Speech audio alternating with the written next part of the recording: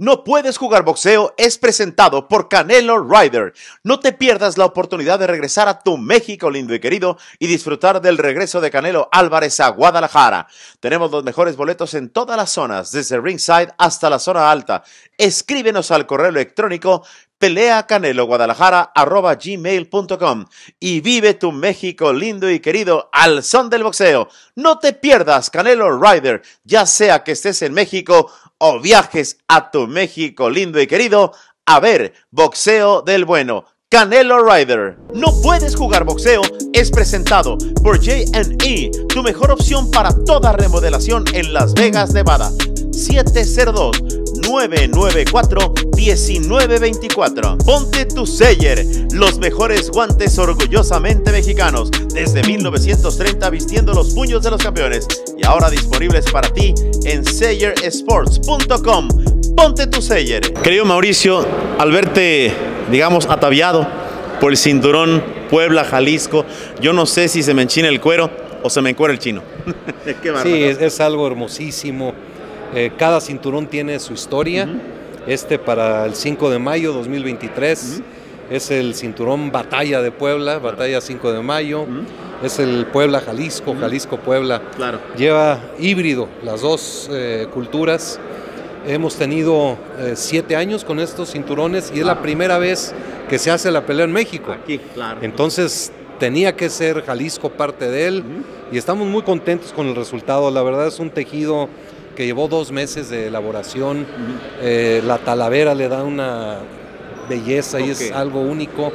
Y pues eh, los volcanes, el Popo, el volcán de Tequila, el Maguey, el tema charro, la India poblana, la China poblana. China poblana. En fin, es algo maravilloso que... Qué maravilla. Oye, eh, me sorprendió enormemente la prensa, como a ti seguramente también. uno voltea para atrás y era bestial la prensa internacional, bueno, mundial, la prensa local le responde al Canelo. Eh, yo no recuerdo de verdad, y mira que vivo en Vegas, tanta prensa. No, es maravilloso, es espectacular, especial, y hay que celebrar que se está viviendo esto, eh, agradecer a los medios de comunicación, darle el espacio a un evento boxístico, al Canelo, a todos los que van a participar, perdón, y definitivamente eh, valorar, porque muchas veces pasa la vida y vas de un día a otro y ya pasó. Ahorita hay que voltear y ver lo que se tiene. Ahí está el Canelo sonriendo, míralo. Mira, yo, Canelo. Ve a México, cabrones, por cierto, mira aquí atrás. qué, bonito, qué, bonito que marca, ¿no? Está creciendo Canelo enormemente, pero en todo sentido. Pero retomando el boxeo, ¿qué es este evento? Porque yo escribí en el Universal. Guadalajara se viste de boxeo. Guadalajara, Jalisco va a estar. Es el centro, es la capital del boxeo mundial toda esta semana. Bendito sea Dios. Y pues se tiene la Fórmula 1, el checo va muy bien. Las ligas mayores estuvieron la semana pasada en el estadio Harpelú. Eh, viene el fútbol americano con la NFL. Y ahora boxeo, que es lo que tanto nos hacía falta. Habíamos mencionado por muchos años que queríamos una pelea grande y ya estamos a dos días de ahí. Qué chulada. ¿Tú te imaginas a Hugo Sánchez en el Real Madrid que hubiera dicho, ¿saben qué? Pues dejo la lana del Madrid y me voy a Pumas. Nadie lo ha hecho. Hay que reconocerle a Canelo que no le importó lo económico, sino el legado. Absolutamente, es un sacrificio económico. La gente podrá decir que tiene mucho dinero, pero nadie nunca es suficiente. Nunca es suficiente y además no tiene por qué dejar eh, por ninguna situación, pero él fue exigencia de él. Nadie se lo pidió. Él fue exigencia venir a México a hacer este combate y es uno muy digno. Claro. Eh, el otro día vi una fotografía tuya y hablando de lo personal, ¿cómo me gusta que crezcas? ¿Cómo me gusta lo que haces por el boxeo? Eh, si pudieras hacer, como decía Gloria Trevi, ¿no? el recuento de los daños, pero en este caso el recuento de lo bueno. Eh, ¿Qué te ha dejado el boxeo en estos años de presidencia? Porque quizá no lo mides a diario, pero yo que te veo eventualmente digo, cómo ha madurado Mauricio, cómo ha crecido y, a pesar de que el mundo del boxeo es un mundo raro, pues caray, vamos creciendo, ¿no? No, no, le importó la cámara. Pásela a la entrevista. Pero te decía, ese crecimiento me, agrada. Soy un mexicano raro, me da gusto el, el, éxito de otros mexicanos. Muchas gracias. Pues sí, es este.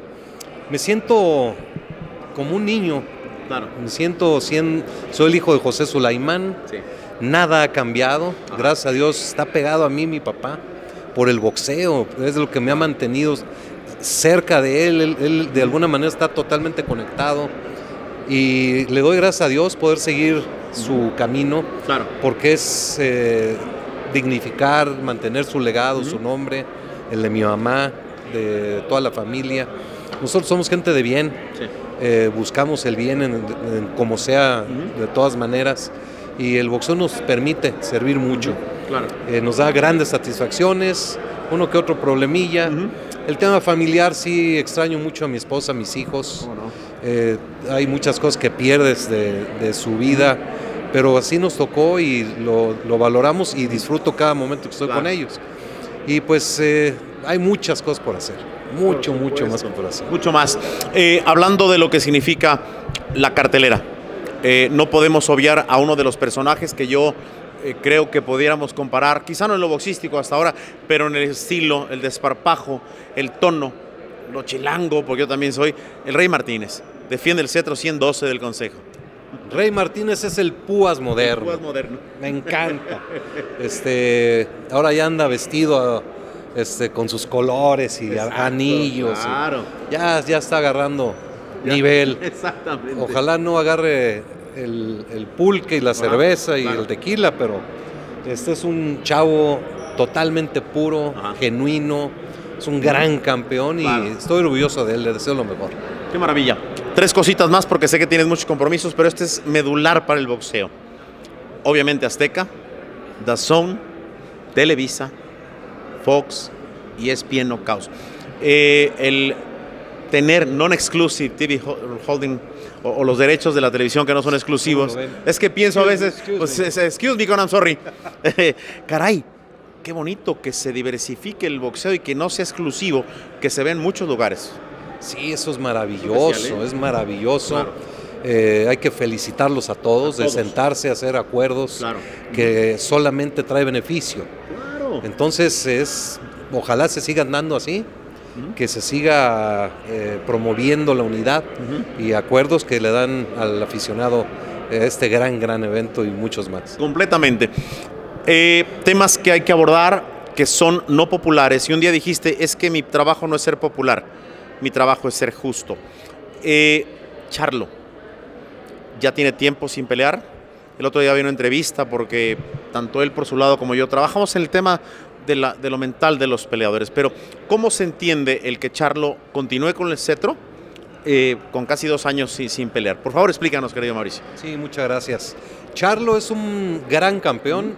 Él estaba, él tuvo su última pelea eh, con Derbachenko me parece que fue esa, eh, y, estaba listo para defenderse. Se ordenó a Munguía para pelear con Adames. Exacto, el caballo. Como eliminatoria final. Y la gente de Charlo buscó a Munguía. ¿Sabes qué? Si quieres, no hagas la eliminatoria y va directo. Aquí estamos. Aquí estamos. Yo fui testigo de que hubo un gran proceso de negociaciones donde llegaron a porcentajes muy, muy importantes, pero por cuestiones de televisión, precisamente lo que decías, este, Munguía decidió no tomar la pelea, o su gente. Eh, posterior a eso, eh, se ofreció a Munguía pelear con Adames, claro. la eliminatoria, y se rechazó. También no aceptó. Eventualmente iba a pelear Charlo eh, en, parece junio, julio, en junio y se lastimó la mano. Entonces el Consejo Mundial ordenó a Adames por un título interino. Exacto. Que Munguía, en vez de pelear el eliminatorio, hubiera peleado por el título interino. El interino, claro. Y se hizo a un lado. Eh, después de eso, eh, Charlo tuvo un problema de salud mental. Ah, eso quería llegar. y nosotros somos promotores de siempre apoyar de estar con el campeón en las buenas, pero más en las malas. Así como a Ryan García se le atendió, a Charlo se le está atendiendo y se le tuvo toda la oportunidad para que regrese. Va a ser una pelea en junio y después ya hará su pelea con Adames para, para quedar libre eh, el compromiso de las mandatorias. Pero si, si alguien me dice o me critica por mantenerlo como campeón, lo acepto. Pero lo hicimos por lesión primero y segundo, por salud mental. ¿Por humanidad? Por humanidad. Sí, porque lo merece. Creo que no es una medida popular, pero pues su trabajo no es ser popular, hay que decirlo. Así es, ¿no? Este, hay, hay ocasiones que sí se toman eh, posiciones o decisiones uh -huh. que no son fáciles de entender, fáciles de criticar, pero ahí está la, la respuesta, es clara y quien lo quiera eh, aceptar, perfecto, y quien no lo acepte, pues también entiendo que, que no lo quieran aceptar. Completamente. Eh, el tema de, de Vivol, hubo una, una eh, bueno, eh, declaración por parte tuya en el tema de que si eventualmente buscaría a Better Viep, no se sancionaría por parte del Consejo eh, lo de Vivol. te pido la explicación porque nadie más claro que Mauricio Alemán para explicar la medida. El Consejo Mundial de Boxeo siempre ha sido un líder uh -huh. deportivo en cuanto a la humanidad. Uh -huh. Hemos combatido la discriminación, claro. hemos combatido el abuso de poder uh -huh. y también siempre buscamos la paz uh -huh. en todos los sentidos. Lo que sucedió eh, iniciando febrero del año pasado con una invasión eh, de un país a otro en el, uh -huh. en el 2023, Imagínate. 2022 es inaceptable. Eh, las tragedias que se han visto, que se han vivido, gente inocente muriendo, niños, gente grande, eh, millones de personas desalojadas, todos los efectos de esta guerra el Consejo decidió tomar algunas posturas en contra de la guerra, uh -huh. a favor de la paz, y eso fue expulsar a Rusia para no tener combates en Rusia, para que ningún ruso pueda combatir por el Consejo Mundial hasta que no haya eh, un cambio y ya haya boxeo en Ucrania. En Ucrania Exacto. no hay boxeo, no, no hay nada, claro. porque están siendo invadidos. Entonces, mientras no haya boxeo en Ucrania, no vamos a permitir boxeo en Rusia eh, ni rusos ni belarrusos participando eh, en peleas oficiales del Consejo. Si Vivol diera una declaración a favor de la paz y dijera que él está en contra de la guerra, aunque sea su país, porque a ver, hay medidas que el país toma en México y yo estoy en, de, en desacuerdo.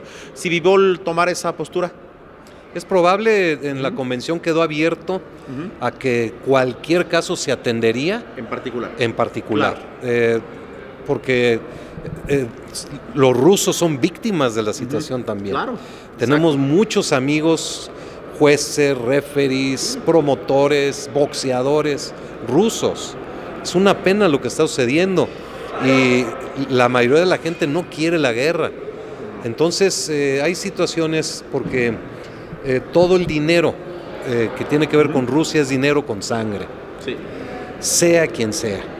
Entonces, esa es una de las posturas, pero definitivamente estamos abiertos a, a recibir, uh -huh. si Vivol se acerca al Consejo. Mundial, a analizar su caso en específico. Qué maravilla de explicación. Mauricio, eh, con el mayor respeto al amigo, al presidente, al camarada, a quien quiero tanto y lo sabe, cierra, como decimos coloquialmente, sin ningún irrespeto, pero lo digo como dicen los mexicanos, cierra con lo que te dé la gana, querido Mauricio, porque sé que siempre tienes palabras de aliento y, y qué momento del boxeo. ¿no?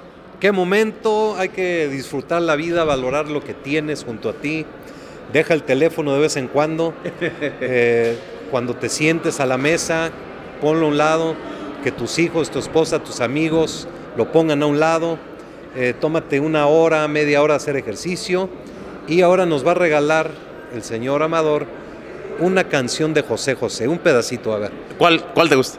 Eh, el triste. Qué triste fue decirnos adiós cuando nos adorábamos más. Hasta ahí. Te quiero, querido Mauricio. Muchas, Muchas gracias, gracias, por el tiempo. Y bueno, el presidente del Consejo Mundial de Boxeo, insisto, un hermano, mi presidente, porque respeto mucho el verde y oro. Y recuerden que no puedes jugar boxeo. muchísimas gracias, muchísimas gracias.